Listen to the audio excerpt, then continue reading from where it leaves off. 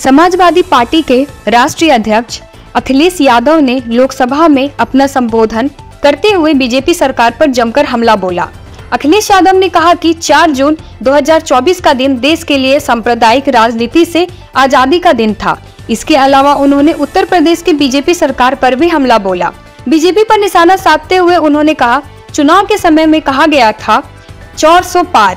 मैं समझदार जनता को फिर एक बार धन्यवाद दूँगा। एक शेर पढ़ते हुए अखिलेश ने कहा, मैं कहना चाहता हूँ कि आवाम ने तोड़ दिया हुकूमत का गुरूर। दरबार तो लगा, लेकिन गमगीन है। सब दरबार लगा, लेकिन बेनूर है। उत्तर प्रदेश की बीजेपी सरकार को लेकर उन्होंने कहा, जहाँ से पीएम चुनकर आते हैं, वहाँ की प्रदेश सरकार भी वन ट्रिलियन इकोनॉमी की बात कर रही है।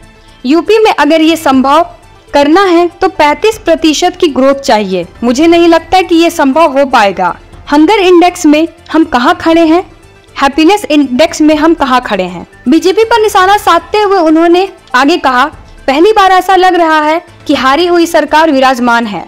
जनता कह रही है कि सरकार चलने वाली नहीं है। ये गिरने वाली सरकार है। अखिलेश ने बीजेपी पर तंज कसते हुए कहा कि ऊपर से जुड़ा कोई तार नहीं, नीचे कोई आधार नहीं। अधर में है जो लटकी हुई, वो तो कोई सरकार नहीं। इसके साथ ही पेपर लीक के मुद्दे पर भी अखिलेश यादव ने मोदी सरकार पर हमला बोलते हुए कहा कि एक बड़ी परीक्षा का भी पेपर लीक हो गया। पेपर लीक हो क्यों रहा है? ये सरकार पेपर लीक इसलिए करा रही है क्योंकि ये रोज़गार नहीं देना चाहती।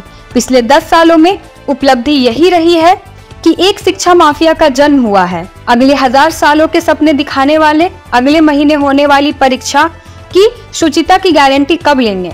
जनता का जागरण काल आ गया है। नए राजनीति के जागरण काल की अनेक प्रतिनिधि यहाँ बैठे हैं।